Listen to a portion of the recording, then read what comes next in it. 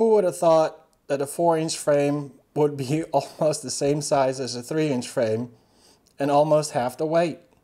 Alright, a couple of months ago I published a video about how I built my 3 inch FPV drone. A viewer commented on it and they said that they wanted to do something similar, but they wanted to make it 4 inch instead.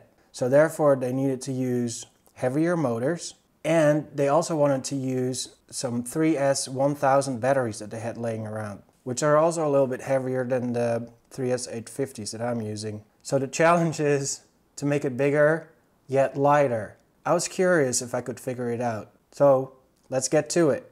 I usually start my designs with some guides to get a basic shape based on measurements that I already know. So I know that I want to fit a mini stack and a regular stack and some standoffs. So I'm drawing those in and then just shape the rest around it. Round off those corners a little bit.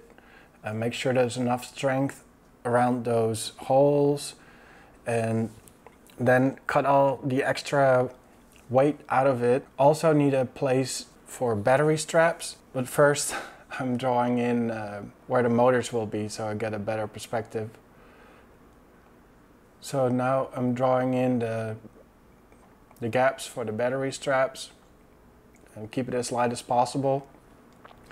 But then I realized, well, if I'm going for light, then I should probably just forget about the regular stack, just make one for the mini stack and standoffs. So I copied it and made this version, deleted the rest. I'm going to do pretty much the same thing, going to make sure that there's enough strength around those holes and round off those corners and make room for the battery straps.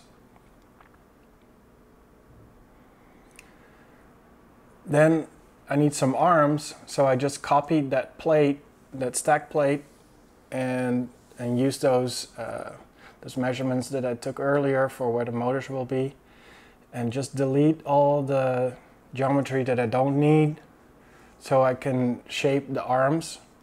It's again, it's just based on the measurements that you know and then just fill in the blanks and just see that it looks sort of okay. At first I thought, you know, because the those stack screws basically interfere with the arms so I wanted to incorporate them. But then I realized, well, you know, the stack screws aren't that long, so they probably won't make it all the way through. So then I realized maybe those should be cutouts instead.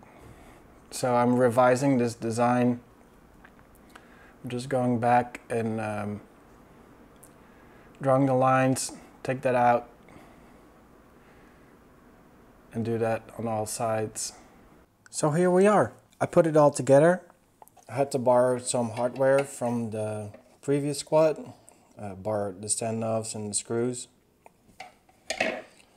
But yeah, this is the 4 inch design that I came up with. So let's see how much it weighs in grams.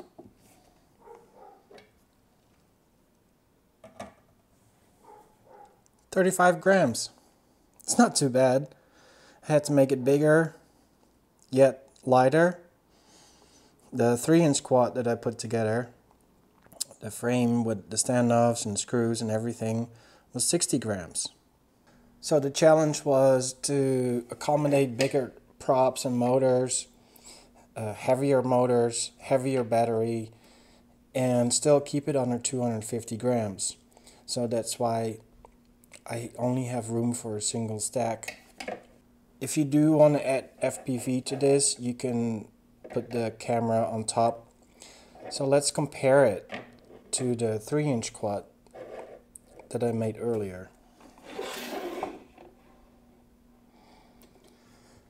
So actually, it's not that much bigger than the 3 inch quad once you look at it like this. And if you look even closelier,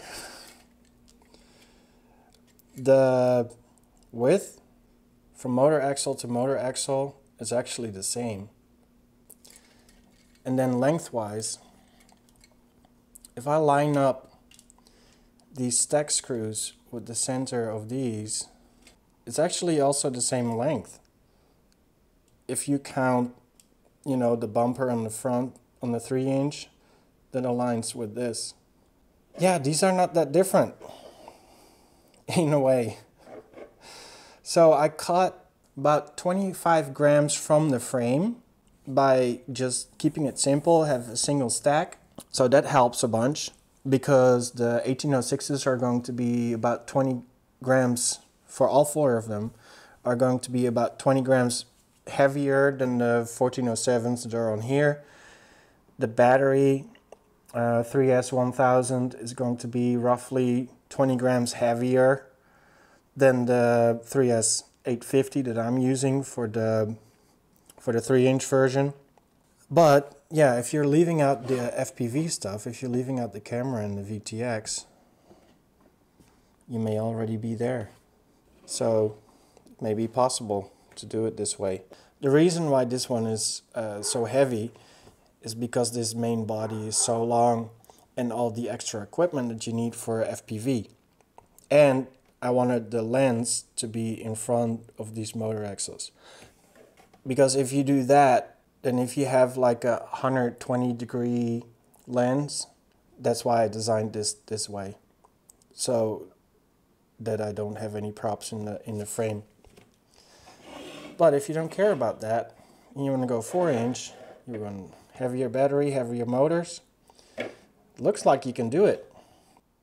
If you're trying to design your own frame or you want to, let me know down in the comments what you're working on. Maybe we can figure something out. If you like this kind of stuff, do this.